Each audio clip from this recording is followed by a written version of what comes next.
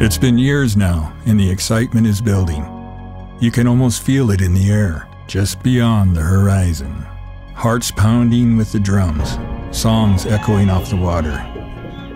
On July 30th, tribal canoe families from around the Salish Sea and beyond will once again pull together in harmony with the ceaseless tides, as they have since time began, to join us on our traditional homeland, honoring our warriors past and present it's an unparalleled celebration of heritage and culture, starting at Alki Point in Seattle and continuing through August 6th at Muckleshoot. Canoe Journey 2023. Paddle to Muckleshoot. Come join us. We are Muckleshoot.